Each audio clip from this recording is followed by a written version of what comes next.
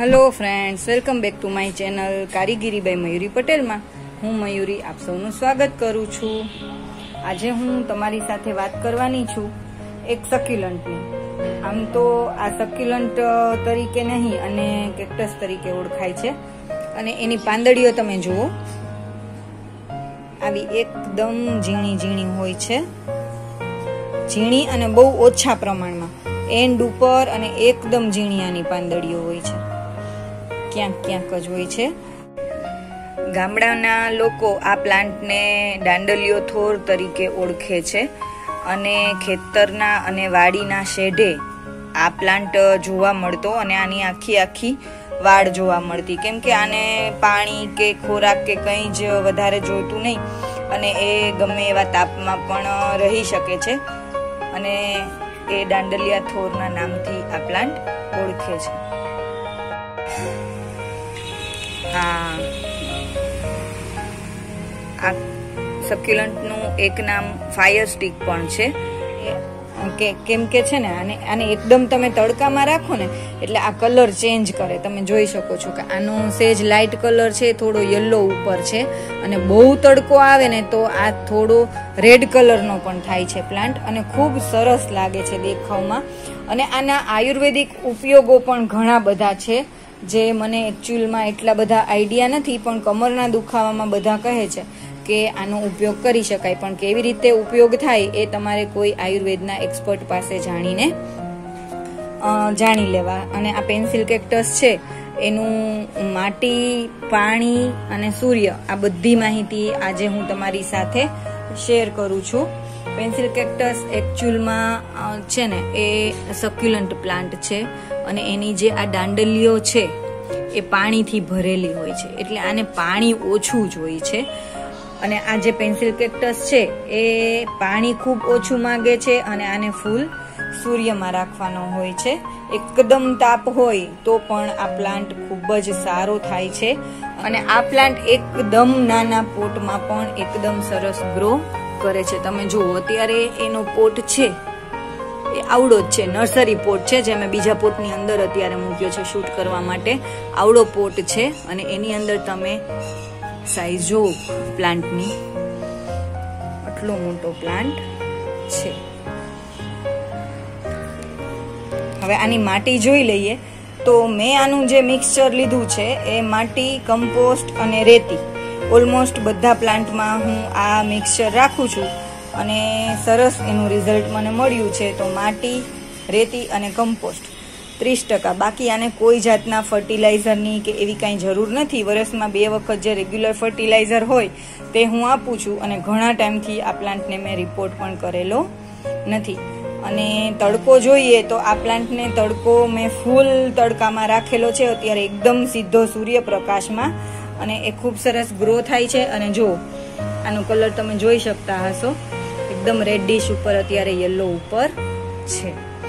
અને આ પ્લાન્ટની પ્રોપોગેશન તમે જુઓ, તો પ્રોપોગેશન આનું કટિંગથી એકદમ ઇઝીલી થાય છે. પાણીમાં પણ આનું પ્રોપોગેશન થાય છે અને માટીમાં પણ કટિંગથી પ્રોપોગેશન એનું થઈ જાય છે. પ્રોપોગેશન કરવા માટે તમારે કશું જ કરવાનું નથી. આની જે આ એક હોય, ડાળી. આ ડાળી કટ કરી, આને છે ને એકાદો દિવસ સુકાવા દેવાની.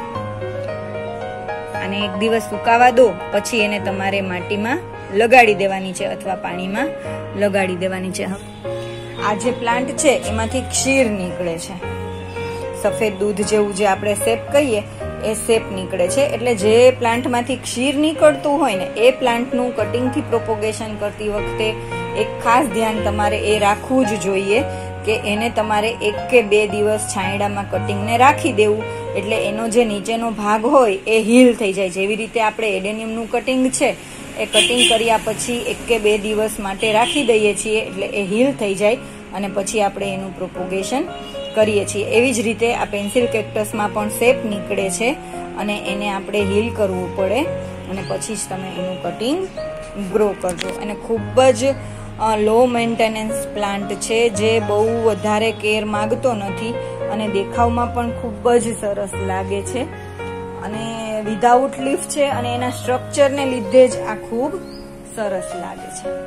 હું તમને એનું સ્ટ્રક્ચર બતાવું છું. એકદમ બ્યુટીફુલ લાગે છે અને ખૂબ નાનકડા પોટમાં છે. પણ એની સાઈઝ તમે જોઈ શકો છો. ખૂબ સરસ થઈ ગઈ છે. આ પ્લાન્ટ ખૂબ સરસ છે. ઇઝીલી બધી જ નર્સરીમાંથી તમને મળી જાય છે.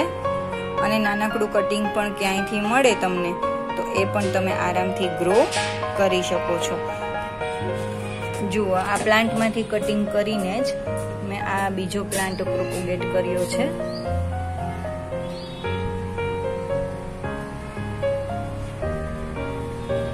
આમાં કશો રોગ કે એવું ક્યાંય જોવા નથી મળતું, પણ આ પ્લાન્ટ મેં થોડા દિવસ માટે ઇન્ડોર રાખેલો. તો તમે જુઓ, એ થોડો મુરઝાયેલો લાગે છે. આ પ્લાન્ટ જેટલો ફ્રેશ ને હેલ્ધી લાગે છે, એટલો સરસ આ પ્લાન્ટ લાગતો નથી. એટલે આને સીધા તાપની જરૂર છે, જુઓ તમે.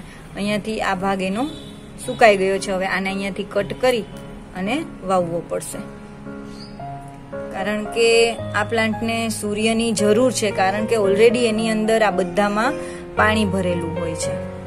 હવે પાણી કેવી રીતના આપું છું? તો મારો પોટ છે એ એકદમ તડકામાં છે, પ્લાન્ટ ખૂબ મોટો છે, માટી વેલ ડ્રેન છે, એટલે હું આમ તો દરરોજ આ પ્લાન્ટને શાવર કરું છું અને શાવર થાય ત્યારે જેટલું પાણી પોટની અંદર જાય, એટલું હોય છે. એટલે પાણી લગભગ તો ડેઈલી જેવું થઈ જાય છે.